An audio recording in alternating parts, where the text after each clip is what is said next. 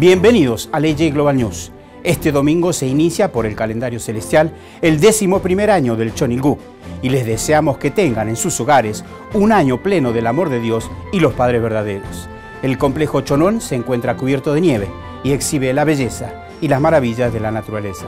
En esta edición del Global News traemos para ustedes un especial para rememorar los momentos providenciales más destacados del décimo año del Chonilgú. Tenemos además un resumen de las noticias que nos envían desde las misiones. Lo vemos.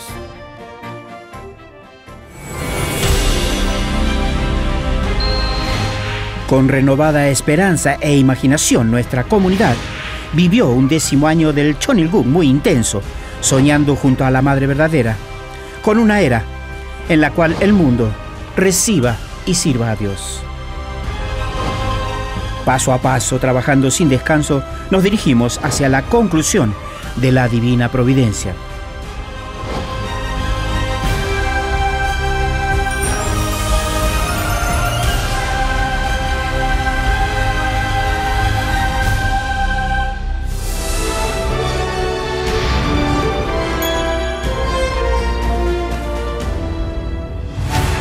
El décimo año del Chonilguk se inició celebrando en todo el mundo el aniversario del santo nacimiento de los padres verdaderos.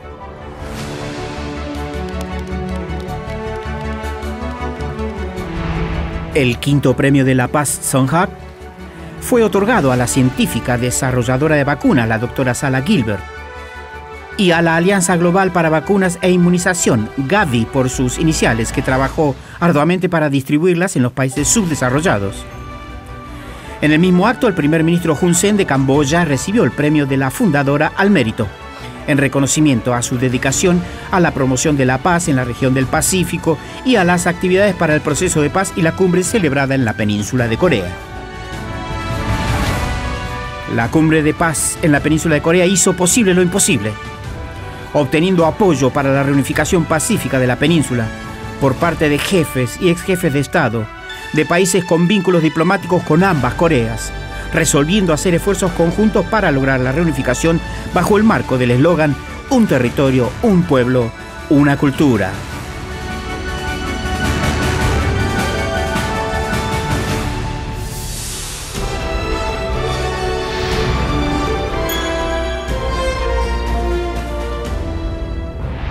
La conmemoración del aniversario de la Santa Boda, el aniversario del Día de Dios y el aniversario del Día de los Padres Verdaderos fue iniciada con el servicio Kyongbe del Chonilgu.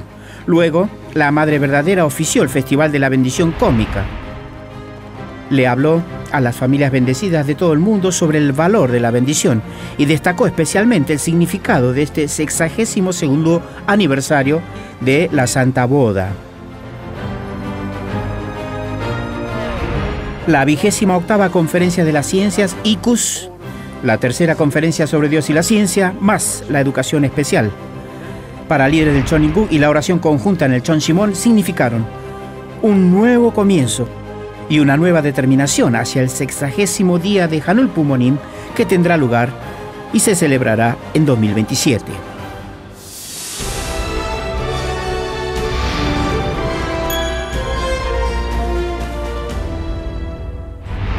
El décimo aniversario Songhua fue realmente especial, con miembros de todo el país yendo al complejo Chonón a un reencuentro con el padre y a aliviar el corazón de la madre, compartiendo testimonios sobre la historia providencial, celebrando la cumbre y la conferencia de liderazgo 2022, donde tuvieron lugar la declaración de Seúl y la propuesta de una Carta Universal de la Paz. En la Asamblea General de IAPD se adoptó una declaración formalizando a la Asociación Interreligiosa como órgano oficial de la Unión Europea. Jefes y ex jefes de Estado de 85 países, incluida Corea del Norte, enviaron ramos de flores a la conmemoración del décimo aniversario Son Juan del Padre Verdadero. Fue un día en el que, además de completarse el ingreso del Padre al cielo, se proclamó la resolución a la formación del fundamento para el establecimiento de la Corea Celestial Unificada y del mundo celestial unificado.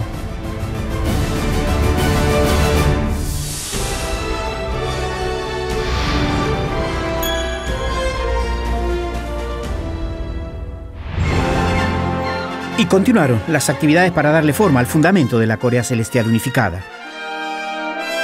Fueron invitados, entre otros, el ex secretario de Defensa de Estados Unidos, Mark Esper, y el ex secretario de Estado, Mike Pompeo, también de Estados Unidos, al cuarto y quinto foro del Think Tank 2022, incrementando por medio de su transmisión en televisión el apoyo y la influencia para una Corea reunificada. El Foro de Paz Corea Celestial Unificada finalizó su primer ciclo en mayo con 20 ediciones y este mes concluyó su segundo ciclo con la edición especial de fin de año la número 41. Estos esfuerzos se están convirtiendo en una plataforma sólida para el fundamento de una Corea reunificada.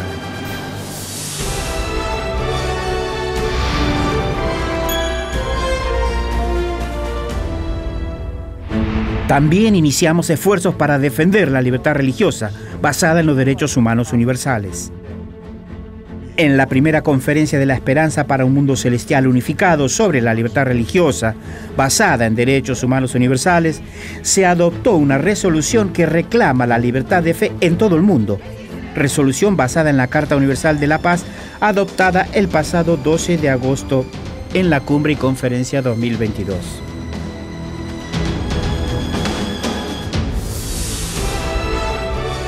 Por otra parte, se desplegó en las regiones una intensa actividad en apoyo de la visión de un mundo celestial unificado. En la región Europa-Medio Oriente, el Club Podgorica, un círculo de ex líderes de la península balcánica y la UPF realizan esfuerzos conjuntos por la paz.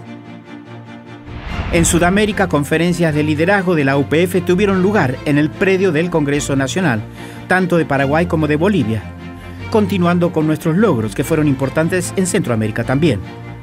El continente africano se está preparando para una cumbre a nivel continental en asociación con la Unión Africana. Así como las semillas sembradas dan fruto en cada área de la sociedad, las organizaciones providenciales también celebraron un año significativo. El Ballet de los Angelitos, que promueve el arte y la cultura tradicionales de Corea a nivel global, tuvo un año monumental celebrando conferencias académicas y actuaciones por su sexagésimo aniversario.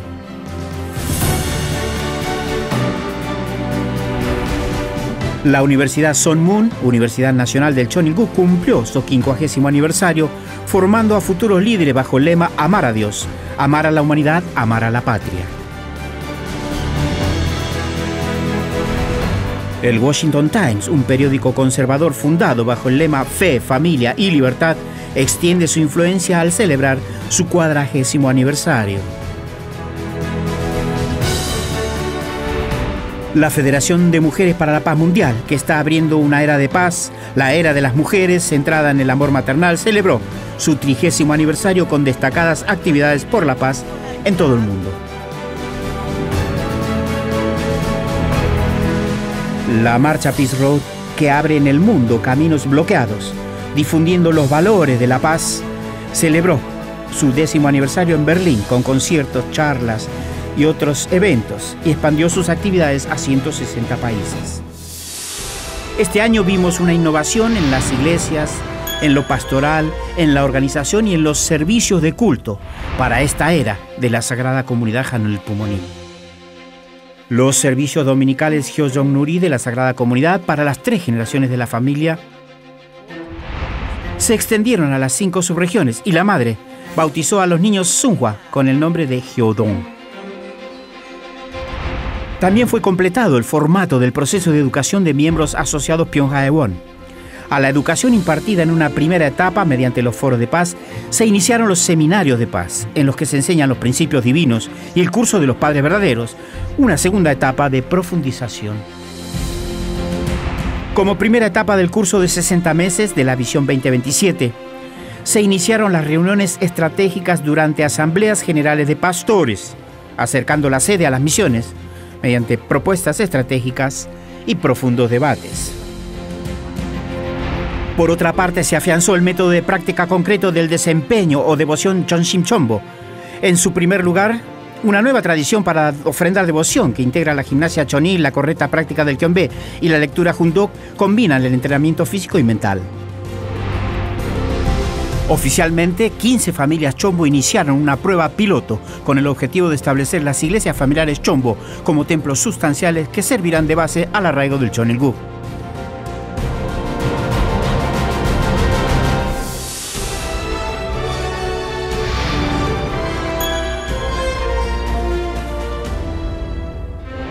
El año comenzó con 79 pastores juveniles realizando el acto de resolución como personal público para la próxima generación. En mayo de este año, YSP obtuvo estatus consultivo especial como ONG del Consejo Económico y Social de las Naciones Unidas.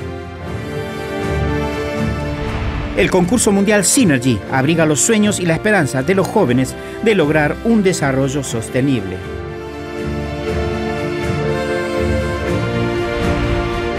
En agosto se había celebrado la Conferencia Mundial de Líderes Juveniles con ministros de la juventud de 25 países de la comunidad CENSAD, con la cual se firmó un memorando de entendimiento y diferentes acuerdos de intercambio y cooperación.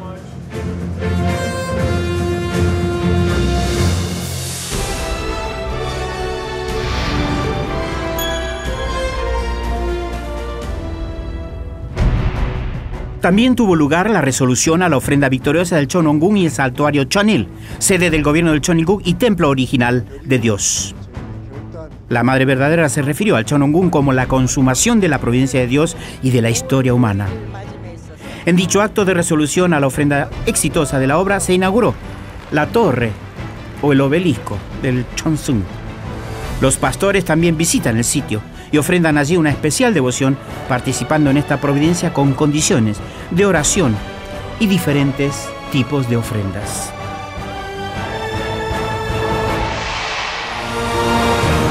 Mirando en retrospectiva a estos 10 años del Chonilguk que nos dejaron sin aliento, vemos que cada huella providencial está impregnada de esfuerzo y de emotividad, como una hermosa flor. Iniciamos ahora el decimoprimer año del Chonilguk, el año de la ofrenda del templo original de Dios, del santuario Chonil, en el centro de la sede Chonongu.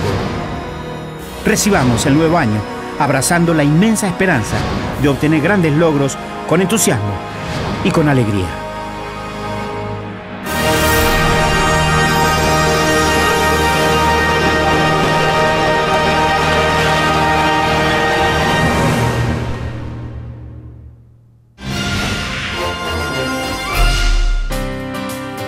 1.200 miembros de la subregión 1 de Corea asistieron a un encuentro especial para el establecimiento de la Visión 2027 y la Corea Celestial Unificada, encuentro para el cual fueron invitados el director de la sede internacional, Yoon Yong-ho, y el personal de la sede.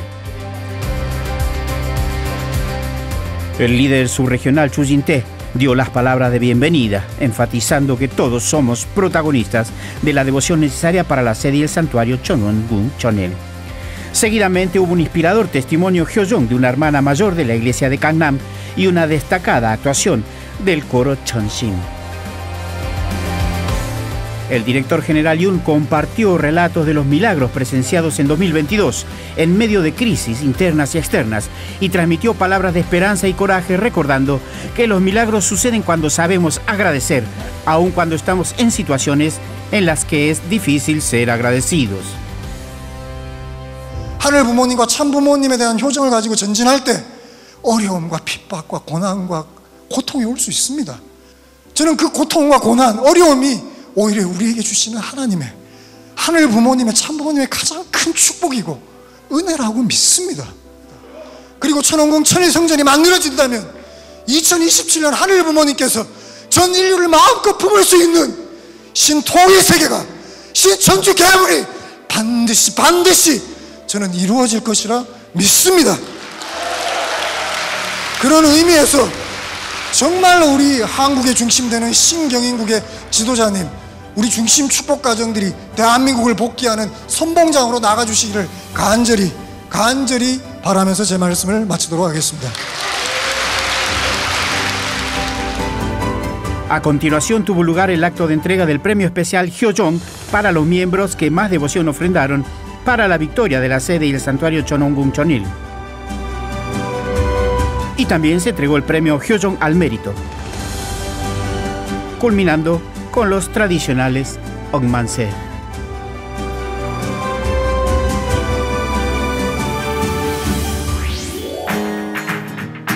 Iniciando este significativo año del conejo, durante el cual será ofrendada la sede y el santuario Chonongun Chonil, la Madre Verdadera invitó al Comité Central de la UPF, compuesto por miembros asociados Pyongyang Ewon, a presenciar la recién estrenada película Héroe, sobre el doctor An Jung-gun, protagonista del movimiento independentista. La UPF de Corea expresó su resolución a que este sea un año de máximos logros para construir un mundo y una Corea unidos bajo Dios. El Foro Consultivo AJ y el Foro Acciones de Paz de la Subregión 3 de Corea, foros que congregan a empresarios y religiosos, celebraron el Año Nuevo en un encuentro organizado por la Asociación Internacional para el Desarrollo Económico y la Asociación Interreligiosa para la Paz y el Desarrollo. Por medio de este encuentro, los integrantes de ambos foros, activos en la ciudad de Daegu, provincia de Chungcheon, reafirmaron su responsabilidad y su misión respecto a la visión Corea Celestial unificada y planificaron actividades variadas para este año. Aprovechando este periodo de vacaciones, seminarios para jóvenes son conducidos en todo el mundo. La Federación de Familias de Camboya organizó un seminario de siete días sobre el principio divino para estudiantes de secundaria y preparatoria bajo el lema Jóvenes Fuertes, Camboya Fuerte. Se enseñó el contenido principal del principio divino, el curso providencial de los padres verdaderos y el significado de la bendición. También experimentaron recaudación de fondos y proyectos de servicio voluntario. Los participantes experimentaron el espíritu y la verdad y se determinaron a ser verdaderos hijos de piedad filial ante Dios y los padres verdaderos. En la República Democrática del Congo, YSP y el Departamento de Jóvenes condujeron dos seminarios de dos días para la segunda generación. Asistieron 87 jóvenes y las conferencias trataron la providencia de la restauración y el significado de la piedad filial Hyojong. El secretario general de YSP, quien dictó las conferencias, animó a los asistentes a convertirse en hijos e hijas filiales que le den alegrías a Dios y a los padres verdaderos y enfatizó que la vida terrenal es la preparación para la vida eterna en el mundo espiritual. Que la piedad filial a Dios sea la luz del mundo fue el eslogan del decimosegundo seminario para jóvenes Sunhua de la región del Asia-Pacífico. En este seminario participaron 410 miembros de 14 países, tanto online como offline. Además de sesiones de lectura Jundoc, se dictaron nueve conferencias especiales y hubo tiempo para turismo, deportes y también actividades de voluntariado. Los participantes mostraron su gratitud y fuerte voluntad de contribuir a la realización de la Visión 2027, pasando juntos el inicio del 2023. En los Estados Unidos, un total de 50 jóvenes de segunda generación y sus hijos de la fe asistieron al seminario de lanzamiento nacional de CARP 2023. Bajo el tema de Nueva Esperanza, comenzaron el año nuevo aprendiendo juntos el principio divino y orando juntos en el templo Chonshimon. El Ministerio Nacional de Jóvenes y Jóvenes Adultos, YAYAM, celebró un retiro. Oraron en el templo Chonshimon, recibieron guía del director Chong Chinoa, planificaron las actividades del Departamento de Jóvenes e iniciaron el año con renovada esperanza.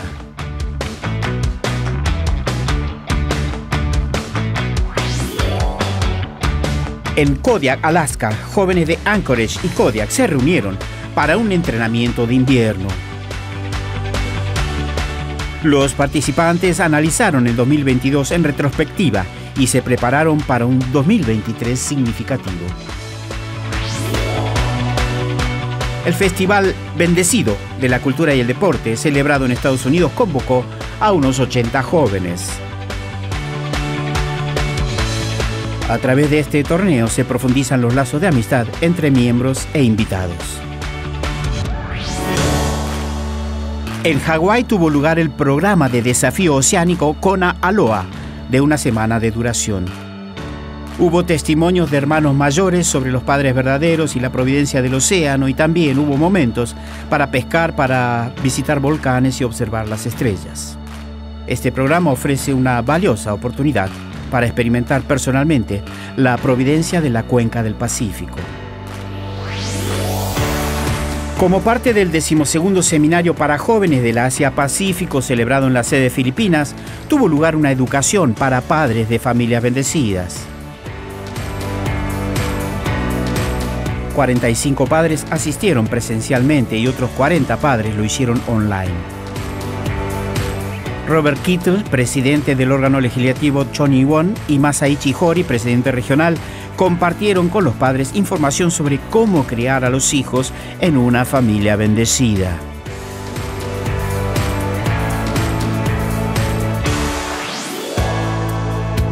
Con más de un centenar de miembros presentes, la Federación de Familias de la República Dominicana celebró su Asamblea General. Luego de los saludos del presidente subregional, los encargados de las organizaciones y departamentos compartieron los informes de la actividad 2022. Fue una valiosa oportunidad para que todos, alineados con la Madre Verdadera, establecieran sus metas enfocados en el Festival Nacional de la Bendición que tendrá lugar cerca de fin de año. La Asamblea General concluyó con el tradicional Juego del Youth, en el que participaron seis equipos. En Costa de Marfil se celebró el primer servicio dominical integrado del Año Nuevo en 2023 con 420 asistentes presenciales y 250 participando online. El líder nacional dio un sermón basado en las palabras que la Madre Verdadera compartió recientemente en la reunión del Año Nuevo en Corea. También hubo actos de nombramiento de nuevos pastores y entrega de premios y reconocimientos a miembros destacados en el testimonio y otras actividades.